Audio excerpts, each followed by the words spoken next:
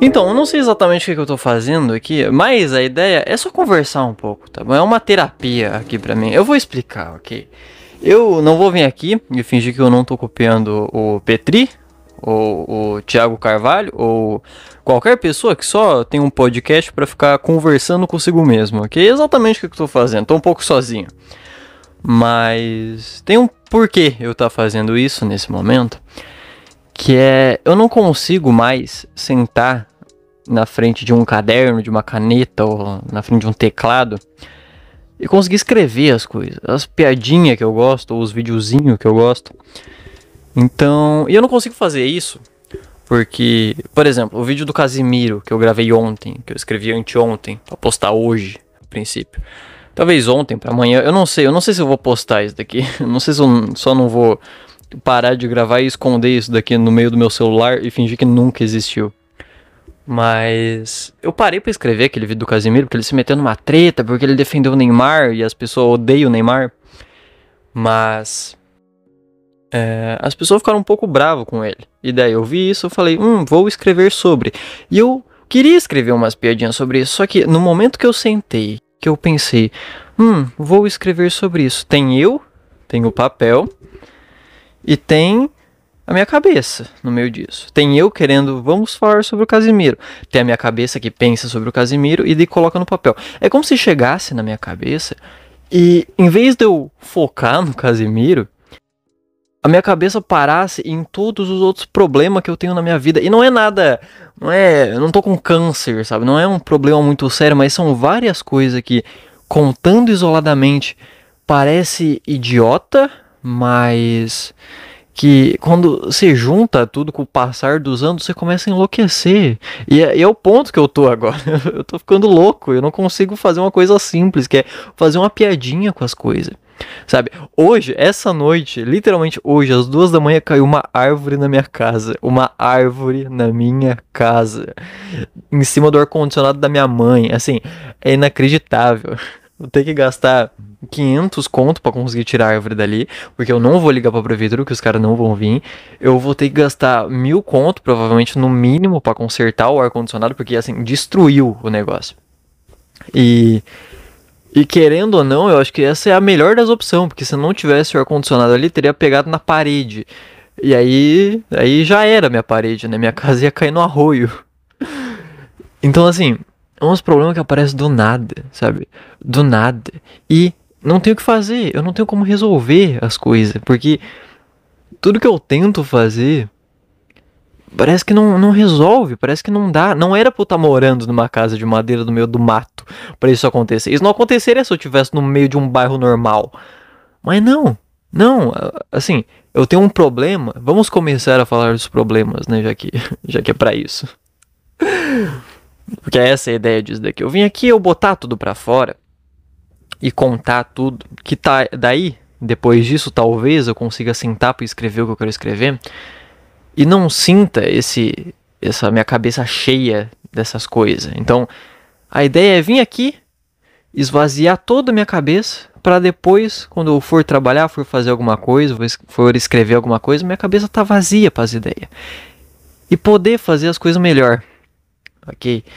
Fazer isso aqui uma vez por semana, talvez, uma vez por mês, ou talvez nunca mais. Eu não sei, eu não tô me responsabilizando aqui, tá bom? Eu tô pegando um filho meu e jogando pro mundo. Aí vocês, vocês decidem o que, que vai ser. Eu vejo se eu vou querer fazer de novo, se as pessoas vão gostar, eu não faço a mínima ideia. Mas assim, os problemas estão sempre aí. Minha mãe, por exemplo, é um grande problema na minha vida. Porque eu não era, não era pra eu estar morando aqui. Não era pra eu estar morando numa casa de madeira, no meio do mato. Se não fosse por ela, se ela tivesse me escutado, tá ligado?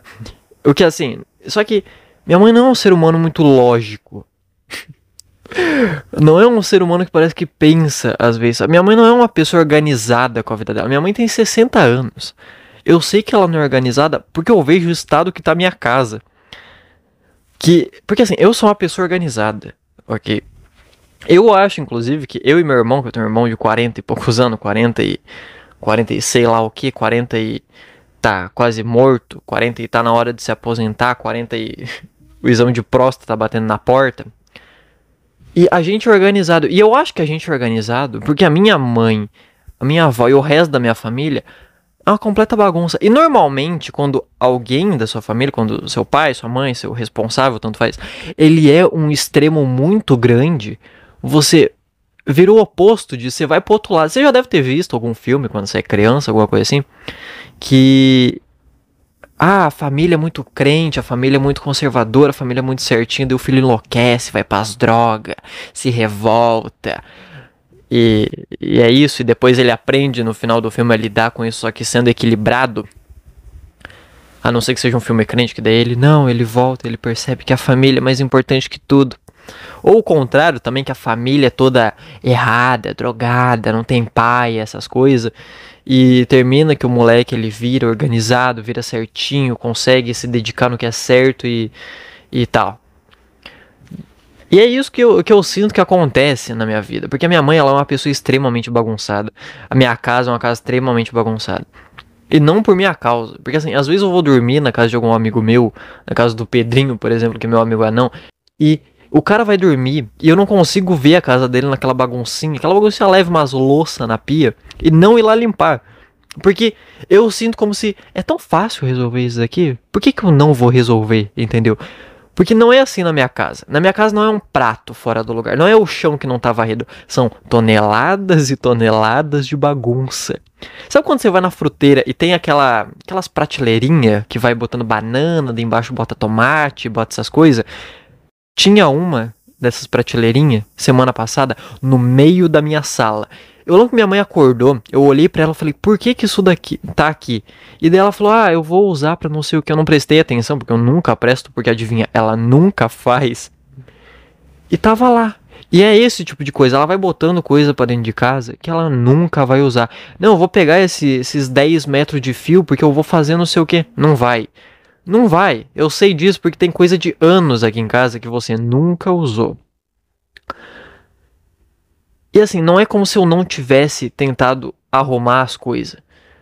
Nunca na minha vida. Eu tento, entendeu? E eu acho que é por isso que me revolta, porque eu não era assim. Eu era uma criança bagunceira. Eu era aquela criança que pega copo na cozinha para tomar refri, para tomar água e vai acumulando os copos no quarto. Tinha uma época que assim, todos os copos da minha cozinha estavam no meu quarto. Vinha alguma visita, alguma amiga da minha mãe lá em casa, não tinha onde tomar as coisas. E daí, com o tempo, obviamente, eu fui crescendo, fui virando gente e eu parei de ser assim. E daí hoje em dia eu tomo um café, pego uma xícara, pego a colher, faço o café, tomo na hora, vou lá na pia, lavo, seco e guardo. Acabou. Deu. Ponto.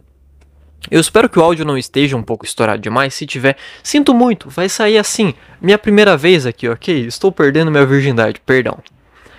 Mas eu era essa criança bagunceira que com o tempo fui mudando. E eu acho que é isso que me revolta. Porque desde pequeno, minha mãe sempre. Ai, você nunca me ajuda. Você. Eu tô nessa bagunça por sua causa. Minha mãe a gente percebe, né, que era uma, uma pessoa incrível para ser mãe. Ela. Pô, nem um pouco de importância com a saúde mental do filho ela teve. O que também meio que dane-se, né? Mas. Dane-se não. Dane-se não, tô passando por isso por causa disso. Mas. Então eu fui acreditando que a bagunça da casa, a bagunça da nossa vida era por culpa minha. Então depois que eu comecei a ser extremamente organizado e a gente continuou na bagunça, continuou se dando mal por causa das decisões dela, tipo vir para uma casa no meio do mato, porque sim, isso começou a me incomodar demais, porque não era, eu não quero estar tá aqui. Eu falei pra gente não ver, eu falei com todas as letras, não vamos por causa disso, disso, disso. Ela não pensou, sabe qual o motivo que ela deu? Ah, mas é que eu quero uma casinha só pra mim. Não quero ficar morando de aluguel. Tá bom? Vamos lá. Mas eu, eu, assim, é inacreditável, porque a pessoa não conseguia cuidar da própria vida antes. Quem dirá agora?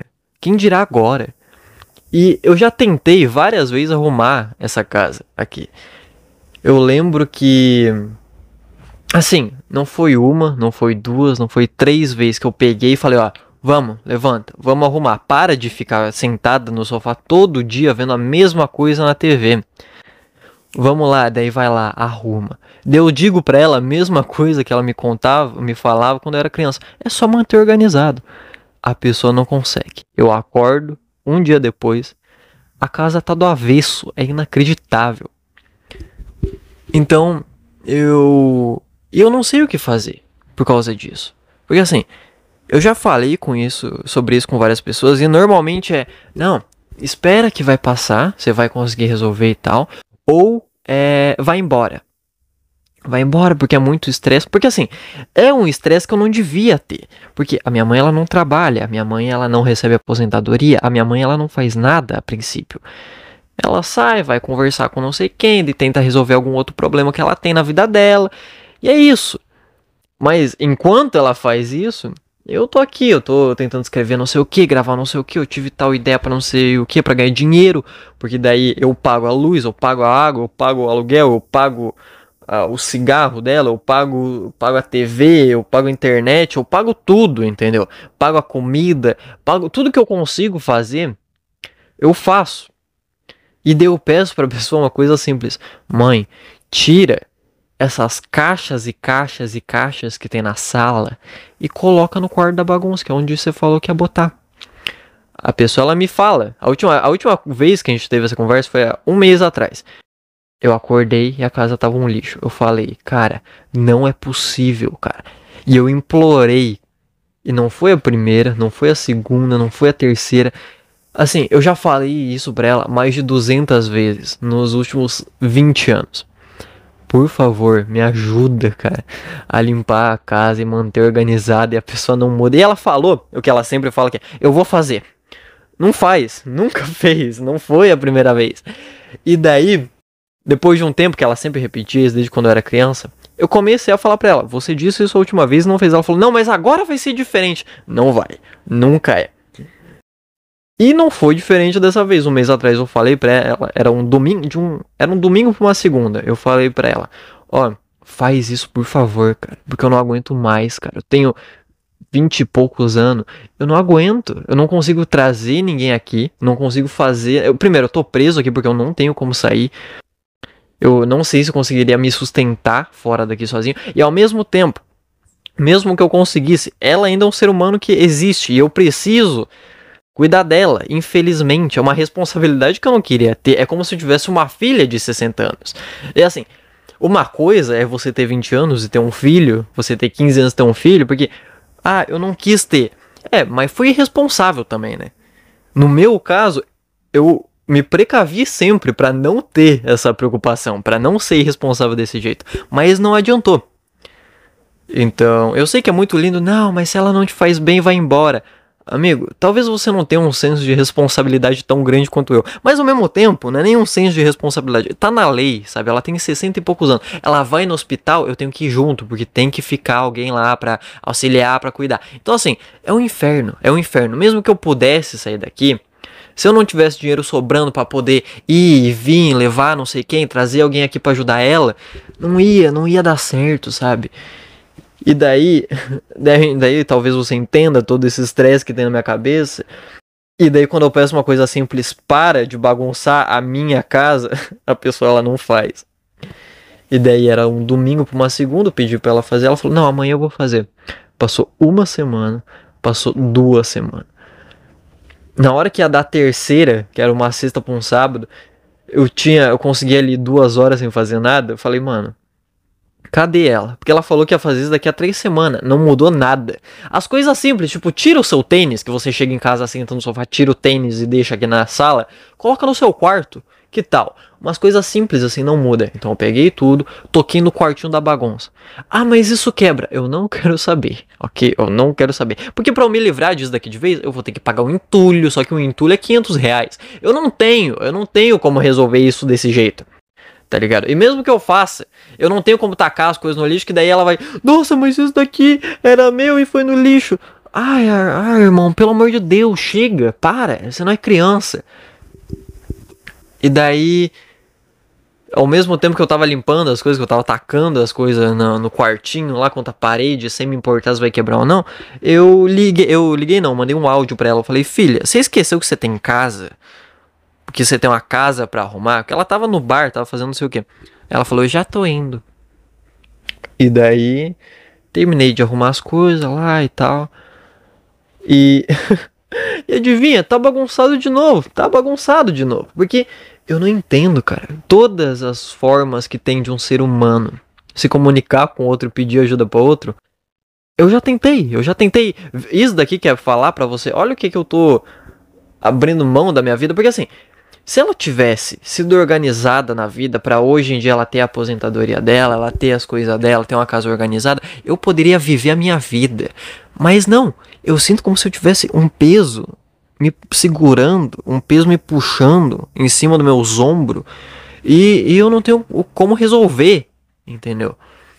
Porque assim, a pessoa não muda. Porque eu já tentei conversar normal. Já tentei ser agressivo. Vamos, limpa. Porra, já tentei, não vai também. Já tentei não falar nada. Só ser motivacional mesmo. Acorda. Dá o exemplo que fala, né? Acordar. Ela tá lá acordada, às vezes, às vezes não. Pegar, lavar as coisas que tem na pia, varrer o chão.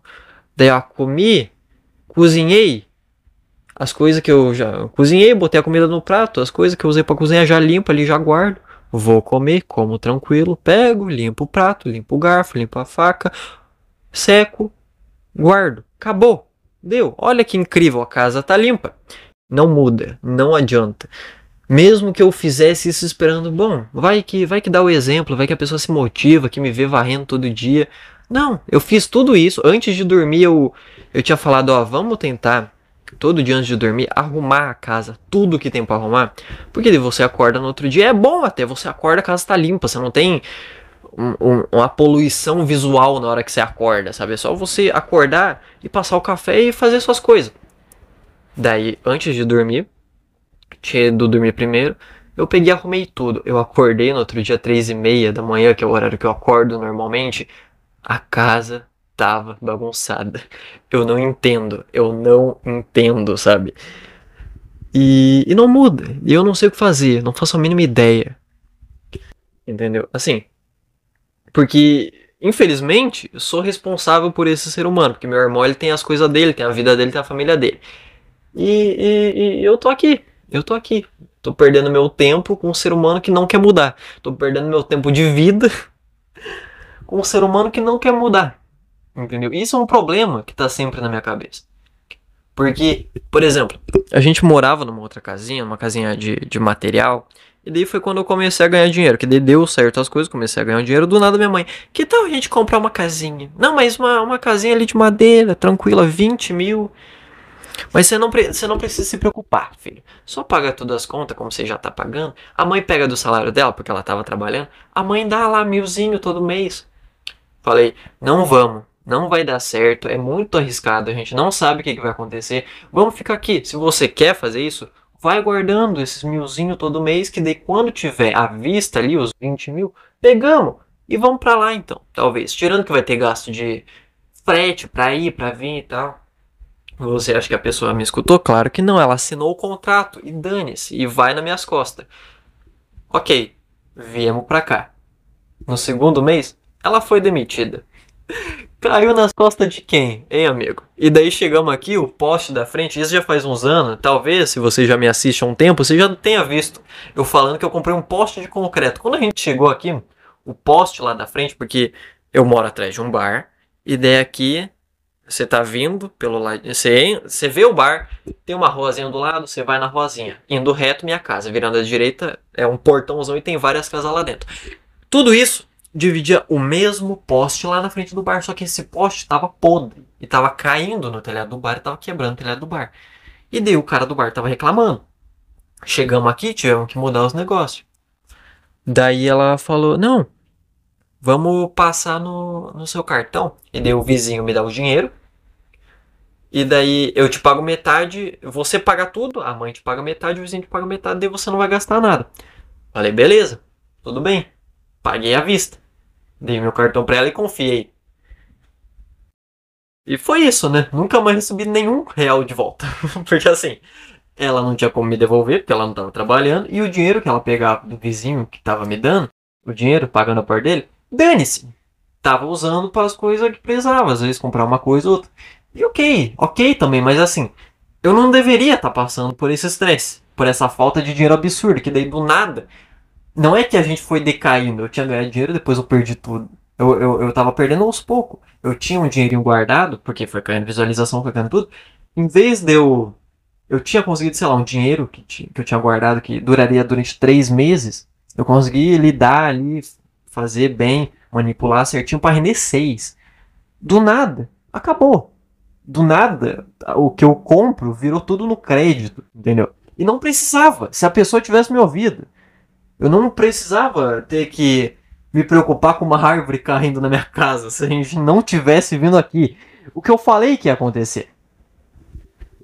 E daí. Assim, isso é um dos problemas que sempre fica na minha cabeça. E que eu sempre escolho. Vamos, vamos seguir, vamos, vamos em diante, vamos. Eu ficar pensando nisso agora não vai mudar nada. Vamos trabalhar, vamos fazer as coisas. E daí talvez poder resolver isso. E por mais que eu tente fazer isso todos os dias da minha vida, ocupa um espaço na minha cabeça isso. E sempre, algum. Todo dia tem alguma coisa nova. Ontem eu tava me estressando por causa da bagunça e tal, eu arrumei de novo. Pensei, ok, vamos lá, vamos seguir a vida. Tudo bem, não tem por que ficar me lembrando de tudo isso. Tá tudo bem, Estamos nessa casinha, mas tá tudo certo. Caiu a árvore, tudo isso voltou pra minha cabeça de eu não precisava, não tinha o porquê eu estar me estressando com isso se eu não tivesse aqui. Mas eu tô. Culpa minha? Claro que não. Mas ok. Isso sempre fica na minha cabeça. E esse medo de e se eu não conseguir resolver? E se eu não conseguir mudar? E se eu não conseguir seguir a minha vida? E se eu passar o resto da minha vida? Porque eu tô nessa há 21 anos ou 22. Qual que é a minha idade? Eu acho que é 22. Não, não, não. Meus amigos têm 21, então eu tenho 21 também. É, mas assim, isso é uma coisa, esse espaço que ocupa na minha cabeça, desse estresse, por exemplo, esse simples, que é os problemas com a minha mãe. É uma pessoa completamente responsável. Já me atrapalha em outras coisas, por exemplo. O meu último relacionamento foi uma coisa completamente conturbada por causa disso, por causa desse medo de não saber se as coisas vão dar certo ou não. Por causa disso. Porque eu tava com uma pessoa incrível, uma pessoa maravilhosa, assim. Até hoje eu sempre diz que é a melhor mulher que eu já conheci na minha vida. Só que a questão é, eu tinha medo de alguma coisa muito séria, porque daí eu pensava, e se daqui cinco anos eu, eu quiser ir morar com ela? Será que, primeiro, eu vou ter que sustentar a gente lá, vou ter que sustentar minha mãe aqui? Vou ter que cuidar das coisas gerenciais. Será que daqui cinco anos eu vou conseguir fazer isso. Isso no momento ali que você tá começando a namorar e tal, começando a sair com a pessoa, que a pessoa vem na sua casa todo fim de semana, que isso te deixa. Te, eu, eu não conseguia, eu não conseguia trabalhar, porque daí eu queria passar um tempo com a pessoa, ficar abraçado com a pessoa, ficar conversando com a pessoa, ficar fazendo isso, ficar tendo momentos com a pessoa. Então, obviamente, eu acabei indo traba trabalhando menos ainda. E isso vai te deixando louco, sabe? Será que eu vou conseguir? Isso me dava medo de querer ter alguma, alguma coisa séria, porque daí você tem uma responsabilidade. Eu não, eu, eu não sei, eu não sabia se eu tava pronto ou não. E, e, e se eu, eu me estresso em casa, me estresso para conseguir isso e daqui a pouco não dá certo? O que que eu faço? Sabe? E tudo isso ao mesmo tempo eu não conseguia explicar pra pessoa. Então eu só ficava mal. Eu simplesmente ficava mal.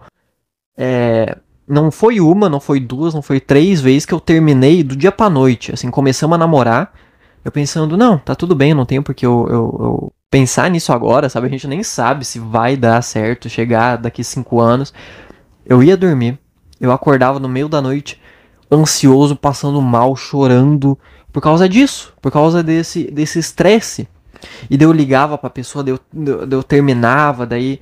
E a pessoa, a princípio, no início ela entendia. Só que, como no início do relacionamento, antes da gente começar a ter algo sério. Eu sempre deixei claro, não quero nada sério, tratava a pessoa como minha amiga mesmo e contava para ela tudo como uma amiga mesmo, contava, ah, uma vez eu sei com fulana, testava piada. Uma vez eu sei não sei o que, ele contava a história. Isso obviamente vai machucando a pessoa quando ela estava apaixonada por mim e eu não sabia disso, depois que eu fui me apaixonando por ela. Mas nesse momento, a pessoa ela ficava mal, obviamente, com isso. E depois, quando eu comecei a ficar confuso com tudo isso, a pessoa, ela. No início ela meio que entendia, mas depois, por eu não conseguir explicar, ela começou a achar que na verdade eu tava mentindo. Que em nenhum momento eu queria uma coisa séria com ela. Que eu só tava manipulando, mentindo. E também por algumas outras coisas que aconteceu no relacionamento. Ah, eu conversei com não sei quem, dela achava que essa pessoa tava treinando comigo e tava fazendo. Não era isso. Mas eu entendo por que, que ela pensou isso. Porque eu vacilei também. Porque, ah, eu tava conversando aqui, ó, não era nada a conversa. Daí mandava print e mostrava que não era nada. Mas ainda assim a pessoa ficava insegura. E daí terminou com a pessoa achando que eu menti pra ela o tempo inteiro. E isso volta também, às vezes. Sabe, eu fui fazer um vídeo sobre a treta que deu do, deu do Felca com a ex dele. Postei um vídeo até legal durante eu escrever, eu ver essa treta, eu escrever esse vídeo, eu editar esse vídeo, eu postar, teve umas três vezes que eu entrei em crise lembrando disso. Eu lembrei de uma coisa que aconteceu há um ano atrás, eu acho. E lembrando disso e ficando mal com isso, e sem conseguir fazer as coisas, sem conseguir é, pensar direito. Tanto que nesse vídeo do Felco tem uma piadinha que eu falo, ah, o pessoal deveria desistir de namorar, eu já desisti, hahaha, porque eu fico mal, a pessoa fica mal. Que daí você vê que é esse essa minha ansiedade, essa minha não sei o que que é isso, mas enfim, esse jeito que eu não consigo lidar com as coisas, escapando ali no videozinho, porque durante eu ver toda aquela treta, eu senti isso, eu falei, não, vou botar aqui simplesmente para eu sentir que, não, tô desabafando aqui também, ó, agora eu posso fazer as piadinhas tranquilo. Então, isso acontece, porque é mais uma coisa que fica pesando na minha cabeça, porque era minha responsabilidade e eu, eu, eu, eu, fui eu, né? Eu não consegui lidar com o negócio. E deu, fiz mal pra uma pessoa. E eu não lido bem com saber que uma pessoa ela não, não gosta de mim. Quando a pessoa não gosta de mim à toa, ah, eu fiz uma piada com gordo e a pessoa é gorda, ah, também dane sabe? Porque daí eu tenho um argumento lógico para justificar, mano, é uma piada, não tenho nenhum problema com gente gorda, não tenho nada a ver. Agora, quando é isso, que é tão complicado, que é, sabe, ah, que você tenta depois explicar, a pessoa fala, não, você tava mentindo. E eu entendo o lado dela. Não tô falando que ela tá errada, não é isso. A pessoa Imagina, para ela eu sou a pessoa que usou e manipulou ela e que nunca quis nada sério, mas que fingia e não sei o que. Eu entendo, tá tudo bem, ok, sabe? Mas o fato da pessoa se sentir mal por minha causa, isso é um negócio que, assim, pelo menos uma vez por semana, assim como esse problema da casa, esse problema de conta, esse problema de dinheiro, volta e volta. E eu não sei o que fazer.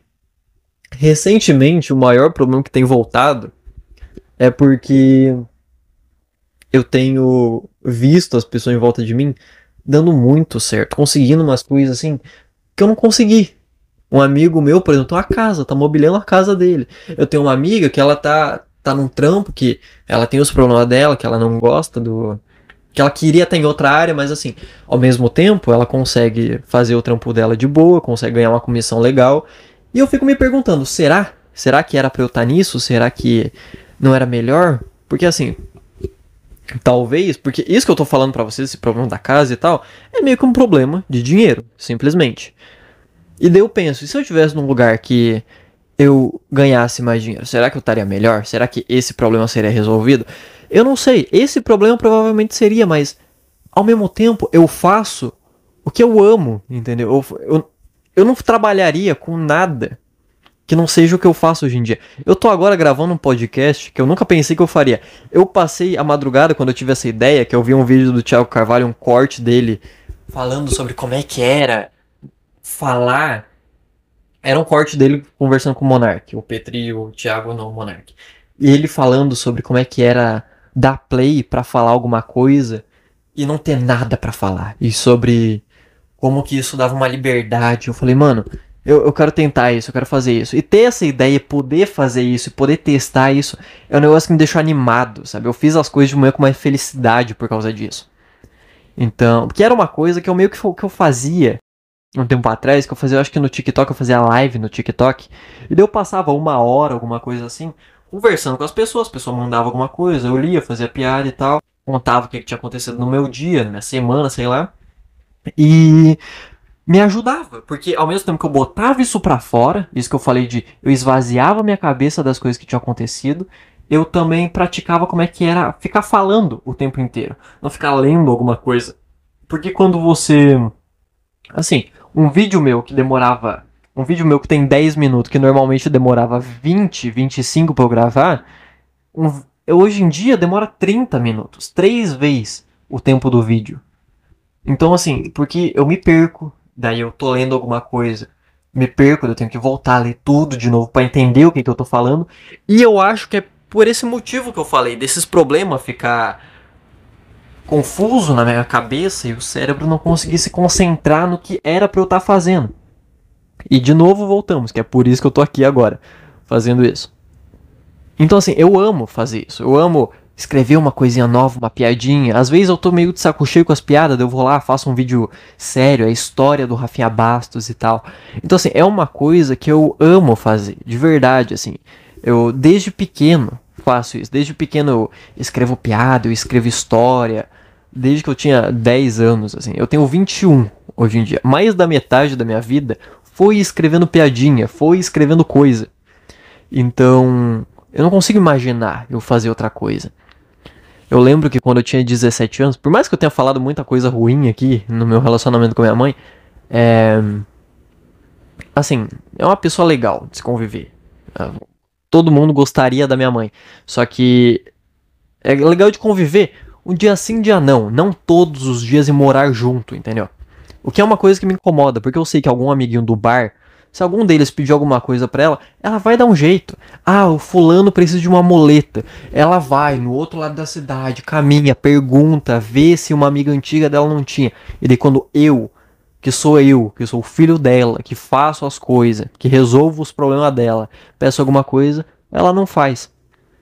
Enfim, é a vida, né? Eu também já vi gente falando: "Ah, você é que você faz isso pela sua mãe por amor". Não é por amor, assim, o amor já ficou para trás há muito tempo. É só o senso de responsabilidade. Entendeu? Mas voltando ao assunto do de eu amar o que eu faço, é incrível para mim criar coisa, fazer as coisas, só que cada vez mais eu não eu amo fazer o que eu faço, só que não do jeito que eu tô fazendo. E eu não sei o porquê. Eu não sei se é por causa que a minha cabeça anda mal ou se ou se tá perdendo valor o que eu tô fazendo. Eu não sei. Eu não sei. Eu sei que, se, assim, se eu ganhasse 100 milhões de reais agora, eu continuaria fazendo as coisas. Semana que vem teria vídeo, por exemplo. É, eu talvez eu não fizesse igual eu faço hoje, né? Porque eu, eu, posto, eu posto que eu posto 5 vídeos curtos de um minuto no Instagram e TikTok.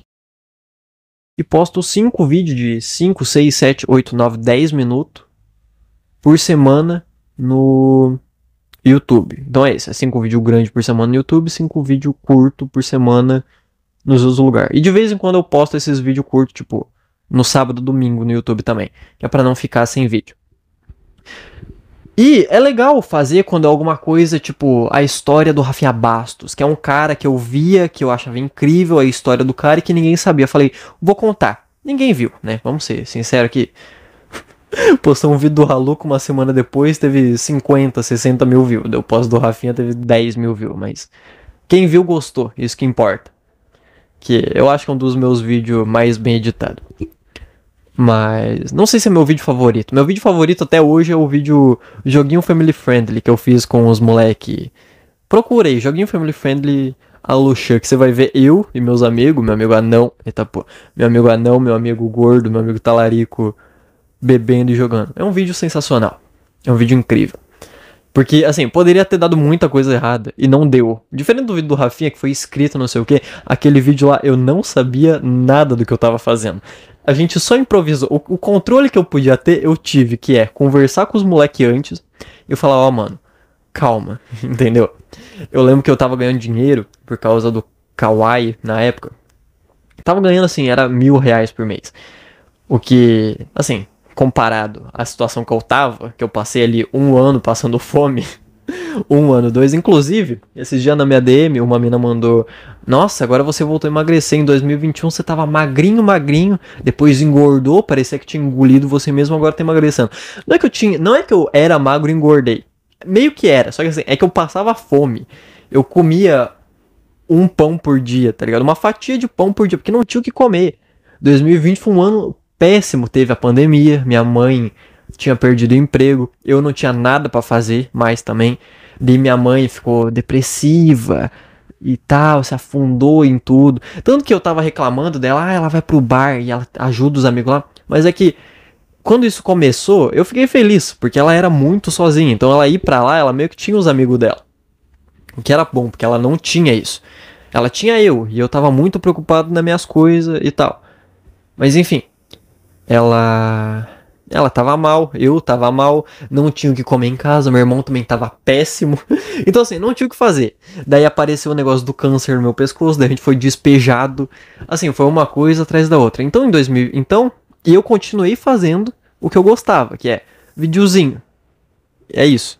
E daí eu perdi totalmente aquela sensação de não, eu tenho que fazer isso porque isso vai dar certo. Eu só comecei a fazer o que eu queria. Ah, eu vi uns vídeos de deep web e não sei o que.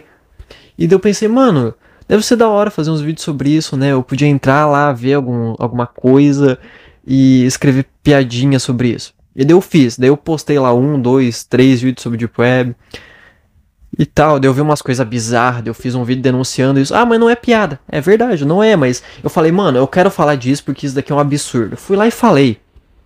Tá ligado? Daí depois eu queria ler comentário no Yahoo. Também fiz. E é isso. Ah, mas ninguém assistiu. Ninguém assistiu, mas eu gostei de fazer.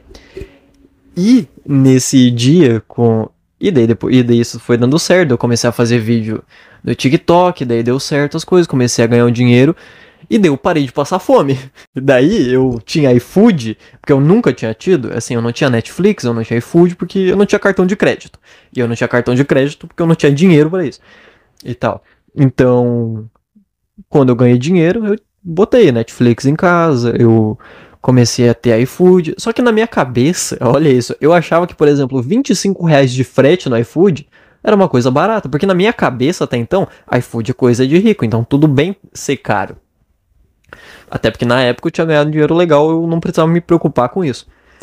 Então, assim, todo dia eu comia dois croissants, dois cafezinhos. Todo dia de manhã, 8 da manhã eu pedia isso. Eu, só isso, eu juro, dava 100 reais. Olha que absurdo isso. Dois cafezinhos, assim, copinho de café minúsculo e dois croissantzinhos cortados no meio com frango com catupiry e calabresa com requeijão no meio. 100 reais. Daí chegava 11 da manhã, eu vou pedir um milkshake. Assim, é claro que eu vou engordar desse jeito. Mas enfim, voltando, onde é que eu tava? Ah tá, deu certo as coisas. E daí eu ainda tava nessa pira de eu vou fazer só o que eu quero. E daí eu tinha visto uns vídeos de um pessoal fazendo jogo com amigo, drinking game, que daí você pega algum jogo do dia a dia, sei lá, que você joga com os amigos e bebe no meio disso. É isso. E nós não tinha decidido ainda. Nós estávamos indo para casa do Pedrinho gravar e nós não tinha decidido se ia ser se a gente ia jogar Naruto no videogame do Pedrinho, se a gente ia sei lá, jogar algum jogo de pergunta ou resposta, até que o Vinícius deu a ideia de ah, vamos jogar um o Vinícius é o meu amigo gordo. Ele deu a ideia de ah, vamos jogar um jogo de tabuleiro aqui que é um drinking game, que é basicamente você joga um dado, vai parar numa casa e nessa casa vai ter alguma consequência. Beba, ou meninos bebem, ou quem tá de relógio bebe. Ou sorteie alguém para beber três vezes. É isso. A gente decidiu isso no dia. Que eu tava ganhando do Kawaii meu conto, eu peguei 100, mandei pro Vinícius, que ele tava no trabalho. Falei, ó, compra as bebidas lá e vamos pra casa do Pedrinho. Cheguei no Pedrinho, não tinha ninguém. Aí o controle que eu tinha era simplesmente falar pro Pedrinho, tranquilizar o cara e falar, ó, mano, não precisa ter vergonha, pode falar o que você quiser, eu sei o que pode entrar, o que não pode entrar, fica de boa, fica tranquilo, tá tudo bem e tal. Dei essa tranquilizada, porque o cara que ele nunca colocou a cara numa câmera, uma coisa eu vim aqui e me virar do avesso. Eu tô me abrindo aqui de um jeito que eu nunca me abri. Então assim, eu também não sei se isso daqui vai vai pro ar ou não, mas enfim. Uma coisa é eu, sabe? Porque eu simplesmente estou falando, mas o cara que ele não faz isso, ele pensa, nossa, quando alguém ouvir, o que, que, essa pessoa vai pensar? E se alguém, eu estou gravando um vídeo, por exemplo, que que, será que a pessoa vai ver que eu tô feio? Será que esse ângulo tá bom? Será que assim é melhor? Será que vão achar que eu tô, que meu cabelo tá bagunçado? O cara que ele já tem uma experiência, ou sei lá o que seja isso, você já tá acostumado, você não pensa sobre isso, você só faz. Então eu falei isso para ele, para ele ficar tranquilo. Às vezes também o cara podia, ele queria fazer uma piada, mas não, as pessoas vão, vai ser muito pesada, o que será que vão pensar? Então dê essa tranquilizada, pode falar, tá tudo bem, eu sei o que, que pode ir o que, que não pode ir. Daí chegou o Yuri lá na casa dele, e daí nós tínhamos que ir na casa do Yuri buscar alguma coisa. Daí eu e o Yuri foi sozinho, o Pedrinho ficou em casa, daí conversei com o Yuri. A gente voltou pra casa do Pedrinho, o Vinícius já tinha chegado com as bebidas. Yuri e Pedrinho sentaram lá, começaram a conversar, e eu e o Vinícius ficamos provando as bebidas um pouco. Aí eu, de novo, conversei com o Vinícius desse jeito. E assim, era uma época que eu não tinha dinheiro mesmo. Eu tava usando o celular da minha mãe para gravar, porque eu usava o celular dela, porque eu tinha um Moto G1. Eu tinha comprado o celular pra ela porque ela tava reclamando que o celular dela era muito ruim e eu ficava me estressando por tabela. Então eu falei, ó, fica aqui, ó, pega esse celular aqui, toma, é isso. E daí eu usava por tabela para gravar e editar. Enquanto ela ela fazia as coisas dela, quando ela voltava em casa eu entregava, deixava ela ficar com o telefone. Enfim, e o telefone do Vinícius também eu peguei emprestado, botei lá parado e tem uma imagem estática. E foi sensacional. No início ainda os caras não estavam bêbados, eles estavam meio meio preso, assim, então eu tinha que forçar umas piadinhas, que depois, vendo no bruto, os caras ficaram fazendo bullying comigo. Ah, você tá, tá forçando, não é que eu tava forçando, amigo, é que esse daqui precisa avançar. E para avançar eu preciso estar falando alguma coisa para mostrar a cena de nós servindo a bebida, porque senão não vai dar certo. Mas no final deu tudo certo, o vídeo é incrível e esse é o melhor vídeo que eu acho que eu já fiz onde eu não tive quase controle nenhum, mas enfim. É... Então, assim, saber disso, ver isso, fazer isso é sensacional, é incrível. Então, eu não trocaria o que eu faço hoje em dia por nada, mas bate aquele medo. E se não der certo? Porque assim, ah, tem umas pessoas que te assistem. É, mas quantas pessoas aí que também tinham isso e que agora estão aí, né? Estão sem nada, estão ferradas que que faz? E se eu voltar para esse estado? E se eu voltar a não ter nada? Porque agora, uma coisa era naquela época que não tinha responsabilidade, tipo assim, tinha, mas dava para contornar, era entendível eu não ter dinheiro para pagar uma conta. Hoje em dia não é mais, entendeu? Hoje em dia minha mãe espera que as contas esteja tudo pago e esteja tudo bem, o que é meio pau no cu, né? Mas enfim. E daí eu fico me perguntando, será? Será que vai dar? Será que não vai? Porque ao mesmo tempo, eu sempre senti isso. De, desde, desde quando eu era mais novo. Que poderia dar certo, poderia não dar. Tanto que antes eu ia falar que quando eu tinha 17 anos, eu, anos, eu tava conversando com a minha mãe. Que sei lá, eu tava. Nós estava naquela situação péssima. Eu tava fazendo os videozinhos todo dia, todo dia eu tava fazendo as coisas. Não era só escreve, de vez em quando posta, era fazendo todo dia. E eu sentei assim, eu conversei com ela, falei, olha, eu gosto muito disso, já tô fazendo há muito tempo. Tinha começado a fazer vídeos com 12 anos, né? Então, eu falei pra ela, eu não sei se vai dar certo, eu já tô com 17 anos, se fosse dar certo eu já teria dado, mas eu acho que mesmo se não dá, mesmo se eu virar, sei lá, caixa de supermercado, eu ainda vou chegar em casa de noite e vou tentar fazer isso todo dia, porque é um negócio que eu gosto demais, é um negócio que é divertido, de vez em quando é estressante, mas faz parte também. E, e que eu gosto de fazer, sabe? Então, então não sei. Eu, eu lembro de sentir isso. E daí do nada deu certo. Do nada não, né? Teve muita coisa ali no, no meio para dar certo de um, de um ano pro outro. Mas, sei lá, esse é um medo que sempre fica na minha cabeça. E se não der certo, sabe? E daí eu converso com alguém, a pessoa fala: Não, você tem que ter um plano B. E daí isso me, isso me enlouquece, sabe? Porque se eu tiver um plano B, eu não vou estar tá concentrado no principal, sabe? O que é um problema, porque só dá certo quando você foca no negócio principal. É legal ter uma hipótese de, ah, se isso não der certo, se pau, eu faço isso. Mas focar em dois caminhos ao mesmo tempo é, é complicado, sabe?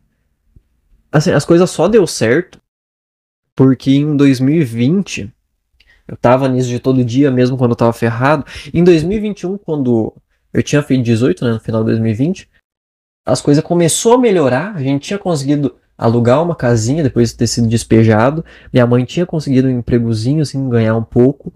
E eu falei, ó, assim, eu sei que nós está ferrado, mas a gente não vai voltar para onde a gente estava de qualquer jeito. Então eu preciso de três, três meses para tentar fazer minhas coisas dar certo.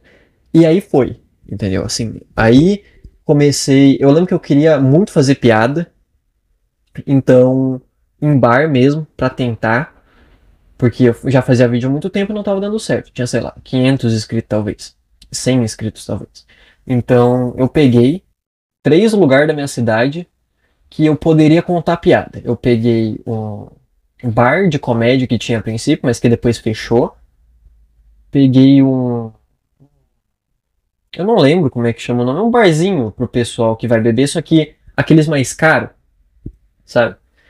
De show e não sei o que. Ele tem um rockzinho. Não tinha stand-up, mas tinha um palco. Pensei, se pá, eu posso dar um jeito e, conversar com o cara e tentar mostrar, ó, dá pra fazer isso antes da banda entrar, e daí eu chamo a banda, porque se eu entrar depois da banda, os caras estão escutando a música, do nada entra eu pra contar piada. Então assim, pensei, eu vou conversar com os caras e vou tentar dar um jeito. E tinha uma churrascaria também. O que, que eu fiz? Eu escrevi, num fim de semana, um texto de 5 minutos, separado para cada lugar. Uma era uma história de bêbado, que era um bar, né, de, de chopp e tal. Outro era esse comedy club que até então eu não sabia que estava fechado, que era uma história que eu já tinha muito tempo, de piadinha que eu já tinha contado há muito tempo. E o da churrascaria era sobre ser gaúcho. Tudo isso depois eu adaptei, melhorei, aumentei, fiz coisa melhor e postei no YouTube. Mas nessa época eu tentei falar com os três lugares e nenhum deles deu certo. O, o bar de comédia estava fechado, tinha falido, descobri no dia. O lugar de cerveja não me aceitou nem respondeu minha mensagem. Os caras da churrascaria eles tinham desistido porque tava no meio da pandemia. Os caras falaram: não, a gente não tá fazendo mais nada, assim, o pessoal só vem, pega a carne e vai embora. Nossa, acabou comigo, sabe? Eu. Primeira tentativa tinha dado errado. O que que eu fiz? Eu, eu não conseguia dormir. Não dormia, porque eu, eu queria que desse certo. Eu não dormia, eu não comia. Era aquela minha chance de pegar tudo que eu fiz nos outros sete anos, na época, dez anos, sei lá, e botar em prática, sabe? Então eu tinha percebido que todas as piadas que eu tinha escrito nesses três textos diferentes eram muito grandes, era muito contexto até chegar onde eu queria. Então eu pensei, e se eu fizer, e se eu começar agora só para praticar, mesmo que não me leve a lugar nenhum, mesmo que eu não poste, mesmo que eu não faça nada, escrever um texto que vai dar um minuto sobre algum assunto aleatório. E daí qualquer assunto mesmo, na época eu fazia muito piada sobre meu pai, meu pai foi embora, sobre isso. Vamos lá, vou escrever um texto de um minuto. Ah, eu tinha um amigo maconheiro. Também, vamos lá. Um, um minuto ali, umas cinco piadinhas. E é isso. Cada piadinha ali no máximo, do máximo 20 segundos. É... E vamos dar um jeito.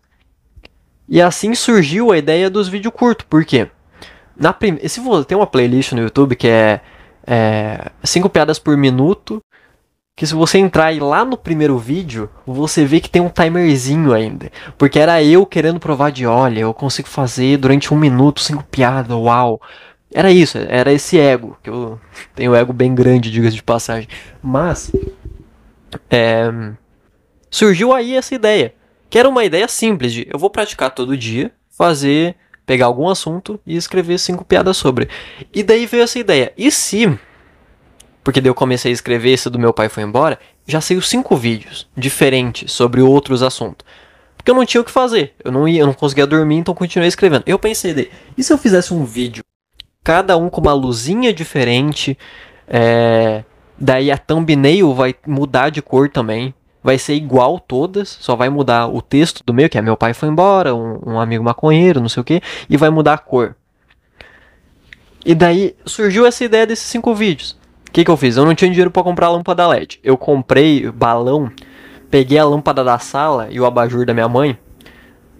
O abajur da minha mãe era parafusado e eu não ia furar minha mesa, então eu, todo dia eu tinha que ir lá desparafusar, pegar um monte de fita, prender na minha mesa, botar a lâmpada e vestir o balão. Eu vestia o balão como se fosse uma camisinha. E daí ficava a cor colorida. Na, na câmera e tal, no meu rosto. Fiz esses cinco vídeos. Não lembro como é que era todos. Era meu pai foi embora, tem um amigo um amigo maconheiro. Tinha, eu tinha uma namorada aqui, é, piadas cristãs e tinha algum outro que eu não lembro. Postei no YouTube. Nada. Nada, ninguém se importou. Por um motivo muito simples. Não tem ninguém procurando meu pai foi embora para acabar caindo no meu vídeo. E eu vi, olha isso. Era um podcast do Maurício Meirelles, do Arthur Petri, inclusive, no Flow e ele estava falando sobre a idade das redes sociais. Cada rede social vai envelhecendo. Facebook, por exemplo, já está aí há muito tempo. Ele já está tipo como se fosse uma pessoa de 60 anos. Por isso que é só pessoas de 60 anos que usam. O YouTube está ali com 30, mas um que está novo é o TikTok. Que é basicamente o YouTube quando tinha 10 anos também, 2015. Pô, quem não lembra? A Moeba, várias coisas, zoeira, rap de anime, Minecraft. Eu pensei, tá aí, eu já tenho os vídeos escritos. Vou pegar, Vou fazer e vou postar no TikTok. Porque lá eu não preciso do cara procurar o meu pai foi embora. O vídeo é jogado na cara do moleque. Fiz isso. Não conseguia. eu não conseguia fazer um. Baixar o TikTok normal. Que meu celular não tinha espaço, era Moto G1. Então eu peguei e baixei o TikTok Lite. Não conseguia baixar o normal, baixei o Lite. Postei os vídeos e começou a dar certo. E começou aí. Isso era o início de março. Não, não, não. Eu acho que era o final de janeiro que eu tinha falado pra minha mãe esse negócio de eu preciso de três meses. Tinha dado fevereiro, negócio dos textos não tinha dado. Pra ir nos bar, pra ir nos lugares não tinha dado certo. Aí eu escrevi os vídeos curtos. Botei no YouTube, não deu certo. Tentei fazer outras coisas, os vídeos grandes no YouTube, não deu certo. Aí eu vi esse podcast no início de março. Comecei a botar os negócios no início de março, os videozinhos no TikTok. E fiquei postando, fiquei escrevendo, fiquei postando. No final de março, eu acho que eu já tinha 100 mil seguidores no TikTok. Porque assim, era esse sentimento de: esse daqui é a chance que eu tenho. Não tem plano B. Eu tô botando minha vida nisso. E, na, e você não foca em nada. De verdade, se você não estiver colocando a sua vida ali, entendeu? Eu, pelo menos, eu não consigo. Por isso, esse negócio de plano B, eu não consigo colocar na minha cabeça esse tipo de coisa. E é por isso que eu acho que com o tempo foi diminuindo a qualidade, foi diminuindo o prazer que eu fui fazendo as coisas. Porque durante esse ano 2021, eu não sei quantos vídeos eu fiz, mas eu foquei bastante nos vídeos curtos porque porque eu sabia que em algum momento eu ia tentar trazer o público do TikTok pro YouTube. E daí eu ia conseguir monetizar o YouTube pegar um, um dinheiro. Porque o TikTok não monetizava na época, hoje em dia já monetiza.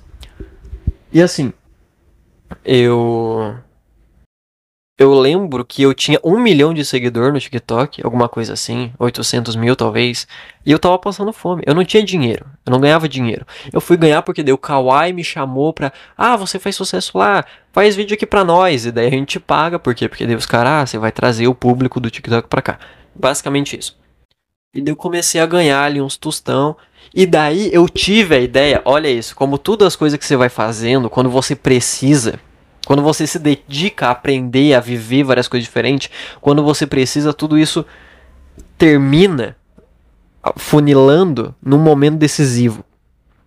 Eu decidi fazer um vídeo sobre aquela história do câncer do meu pescoço, que eu fui no médico e tal e não tinha solução.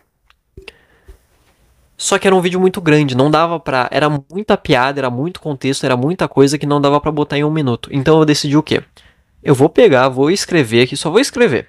O tempo que ficar, ficou. Ficou seis minutos, alguma coisa assim. Falei, eu vou fazer um vídeo separado, vou botar no YouTube. Vou pegar as melhores piadas desses seis minutos, fazer um vídeo separado, vertical, telefone em pé, vou postar no TikTok e no final vou fazer uma chamada. Ah, quer saber como é que termina? Link na bio e tal. Aí, um mês depois, eu ganhei 100 mil inscritos e eu consegui monetizar no YouTube e eu consegui fazer eu tava fazendo acho que um vídeo de stand-up por semana. Porque era isso, eu tinha muita história, eu tinha muita coisa para fazer. E ainda assim, eu acho que eu tinha 100, 100, 100 e poucos mil é, inscritos no YouTube, mas eu não tinha dinheiro. Porque demora, né? Você tem que ser avaliado para ver se as visualizações são verdadeiras, se você tem a quantidade de inscritos certo. Que é mil inscritos, não sei quantas horas, quantas mil horas de visualização. E daí também os caras têm que mandar uma carta para sua casa para verificar se você mora no endereço que você botou lá no negócio do AdSense. E isso demorou, demorou uns quatro meses. E daí o dinheiro ficou acumulando lá, ficou guardado. Enfim, e daí eu tava ganhando do Kawaii, daí o Kawaii não me pagou acho que no quarto mês, me deu meu com calote, mas foi bem no mês que eu recebi do YouTube. E daí eu peguei uma, uma puta quantidade de dinheiro e eu paguei tudo as contas que tinha atrasadas, todas as dívidas. E aí deu certo. E foi aí Nesse momento, depois disso, que começou. Que eu comecei a ficar mal. Que eu comecei a perder o meu foco. Porque assim, para pra pensar que eu só tinha isso. Eu passava fome, eu não, não dormia direito e tal. Só tinha isso. É claro que eu vou focar toda a minha atenção, tudo que eu vou aprender para isso dar certo. Quando eu olhei para minha conta, eu tinha feito as contas na calculadora de quanto de dinheiro precisava para manter um mês a minha casa sem problema, tipo, pagar as contas, pagar o aluguel, minha casa antiga. E comprar coisa de mercado e eu vi que na minha conta do banco, na época, naquele mês, tinha valor suficiente para três meses, eu lembro que no dia seguinte eu fiquei mal. Porque eu tinha postado algum vídeo e eu tava sendo xingado. E isso me atingiu de um jeito que nunca tinha me atingido antes, porque antes. Tudo isso que eu tava passando era meio que um escudo, tipo, dane-se que estão me xingando, irmão, preciso comer. E daí eu fui me afundando e, e tudo mais. Eu não sei se eu tô nesse momento agora. Eu não sei se eu não tô. Porque eu já tentei voltar de, mano, foca no negócio, ignora tudo o resto e segue a linha, como se sua vida dependesse disso, porque adivinha, depende. Daqui um ano eu posso estar passando fome. De novo. Então assim, eu esse negócio de plano A, plano B, eu não sei. Se fosse algum outro trabalho talvez, mas eu sei, eu sinto pelo menos hoje em dia que se eu voltar a ser quem eu era, não voltar a ser quem eu era em 2021, voltar a agir, a fazer como eu queria, eu quero fazer a coisa que eu quero fazer. Dane-se, alguém vai ficar putinho, se alguém vai me xingar, dane-se isso. Naquela época já tinha o perigo de ser cancelado e tudo mais. Igual hoje. Mas hoje isso meio que vai me parando, porque eu começo, não, eu tenho muita coisa a perder. E eu não tenho, sabe? Eu não tenho mais. Eu tô cada vez mais para baixo, sabe? Cada vez com mais problema, então Pra quê? Pra que que eu vou forçar isso virar um problema também? Eu não querer, eu não vou querer fazer piadinha com não sei quem porque porque sei lá, isso pode me dar dor de cabeça. Eu já tenho dor de cabeça normal. Faz a piadinha engraçada que você acha. Então, e eu disse, né, que se fosse alguma outra profissão seria um problema, mas nesse caso não é. Porque uma coisa é você ser caixa de supermercado. Dificilmente, entre um mês ou outro, ou entre dois meses, você pode dar muito certo e conseguir três vezes o valor que você ganharia normalmente. A não ser que você mame o gerente, aí beleza, mas assim, normalmente não é assim que funciona. Agora, nisso aqui, fazendo videozinho. Fazendo videozinho, bati a cara no microfone fazendo videozinho, escrevendo piada, é uma coisa que isso pode acontecer. Então não sei, eu não sei se esse problema tudo não é só eu cada vez mais me afundando e me perdendo no negócio. Sendo que eu poderia só resolver, só tipo, fala o que você quer falar, faz a piada que você quer fazer, para de pensar em vários outros problemas, sabe? Porque assim, eu tenho que me forçar pra isso não acontecer. Eu fui contar pra uma amiga minha eu contei para várias pessoas, contei para uma amiga, para um amigo e, e para uma amiga minha no Instagram que eu ia fazer isso, que eu tive essa ideia, que eu falei, mano, eu tô afim de fazer isso. O que, que você acha? A pessoa me mandou, tô com medo de você ser cancelado. Não me motivou muito, porque assim, eu comecei, o que, que, será que eu falo? Será que eu deveria falar o que eu, o, a coisa da minha vida pessoal? Porque ao mesmo tempo alguém pode se identificar, mas ao mesmo tempo daqui a pouco alguém pode usar isso contra mim. E eu comecei nessa paranoia, eu falei, não vou fazer, não vou fazer, eu não vou gravar, eu não, não vou fazer isso. E daí eu falei, mano, por quê? Sabe, só fala as coisas, não é nada tão pessoal assim, não é, uau, as pessoas têm problema, que novidade. Então, eu só sentei, peguei o microfone e falei, eu vou, eu vou falando e a gente vai ver onde é que termina. Sabe, a ideia era falar aqui sobre problema, mas foi escalonando, um problema puxa o outro. Daí teve a história de como eu consegui fazer dar certo quando eu foquei no problema. Quando eu foquei em resolver as coisas, simplesmente fazer o que eu queria fazer, sem o medo, sem nada, e deu certo. Então, assim, eu não sei. Não sei o que, que eu vou fazer. Não sei o que, que eu preciso mudar. Porque, assim, às vezes você tá muito motivado. Motivação é um bagulho que não funciona, sabe? Você, ah, vai dar certo as coisas. Eu, eu tava nessa. No meio do mês passado eu voltei a postar vídeo, fiquei 15 dias sem postar. No 15 voltei a postar com tudo. E do dia 15 até o dia 31, todos os dias teve vídeo. Falei, não, vou continuar o mês assim. O próximo mês vai ser todo dia. Fiquei doente, não conseguia levantar da cama, minha cabeça doía. Durante seis dias minha cabeça ficou doendo. Não conseguia dormir direito, porque eu também fiquei sem ir na academia. E, as, e, assim, eu fico sem ir pra academia, daí eu fico sem ser responsável no que eu tô comendo. Porque eu falo, não, não preciso comer proteína porque meu músculo não tá se reconstruindo. E daí eu fico nessa, e daí eu vou ficando louquinho na minha cabeça. E daí cada vez ficando mais mal. E daí esses problemas voltam na minha cabeça e vai tudo acumulando. Então, assim, a motivação ela é muito boa para te dar o pico para levantar da cama, mas não é bom para você continuar em pé, sabe? Você tem que se forçar. Que é o que eu tô tentando voltar a fazer. Já faz dois dias aí. E. Enfim. Foi isso. Uma hora já de, de bate-papo. Foi divertido.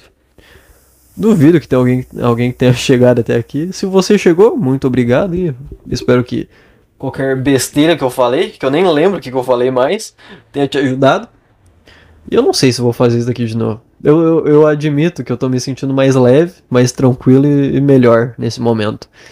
Então, é isso.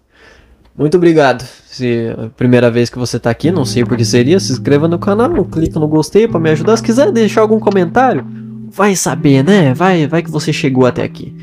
Muito obrigado, até a próxima e tchau.